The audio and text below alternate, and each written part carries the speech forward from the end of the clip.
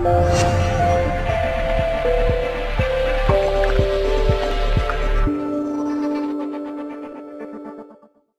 many times have you heard that somebody in your family had sugar? As a black person in America, you probably have had several people in your family die alone from this sugar. Well, I'm going to tell you the real deal, the bottom line about sugar, also known as diabetes, so you can know what it really is and how you can manage it. Most importantly, how you can avoid it while still going to Madea's house every once in a while for Sunday dinner. Diabetes is a chronic disease in which there are high levels of sugar in the blood. Insulin is a hormone produced by the pancreas to control blood sugar. Diabetes can be caused by too little insulin, resistance to insulin, or both. To understand diabetes, you have to first understand how food is broken down and used by the body for energy. Several things happen when you start eating. A sugar called glucose enters the blood. Glucose is the gasoline for the body. An organ called the pancreas makes the insulin.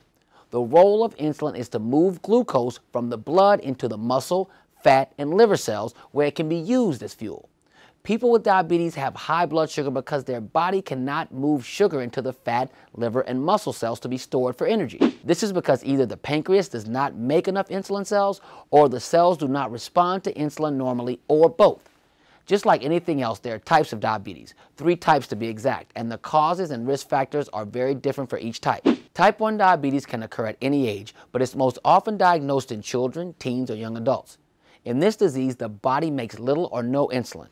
With this type, you generally have to be on the needle daily, meaning that you have to inject yourself with insulin.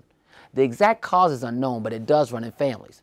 Symptoms of type 1 diabetes develop over a short period of time, and you may be very sick by the time it's diagnosed. Type 2 diabetes makes up most of the diabetes cases. This is what your cousin usually has and is most often occurring in adulthood, but teens and young adults are now being diagnosed with it because of the high rates of obesity. We have too much fatty food in America. Many people with type 2 diabetes don't even know they have it until it's too late. Because type 2 diabetes develops slowly, some people with high blood sugar don't even know that they have those symptoms. That's why you have to go to your doctor regularly. There is also gestational diabetes, and that's high blood sugar that develops at any time during pregnancy in a woman who does not have diabetes already. But we'll cover that one in another special video. I'm going to tell you more about this disease in part two of this series, so keep watching your favorite doctor, Dr. Corey Hebert for BlackHealthTV.com.